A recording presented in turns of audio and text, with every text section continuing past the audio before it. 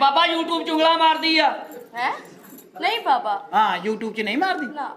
YouTube 'ਚ ਨਹੀਂ ਮਾਰੀਦੀਆਂ ਹੁੰਦੀਆਂ? ਨਾ ਮਾਰੀ। ਆ ਮੁੰਡਾ ਜਿਹੜਾ ਵਾ ਹਾਂ। 50 ਰੁਪਏ ਲੈ ਕੇ ਮੈਸੇਂਜਰ ਆਪਣੀ ਚੁੰਗਲ ਮਰਵਾ ਲੈਂਦਾ।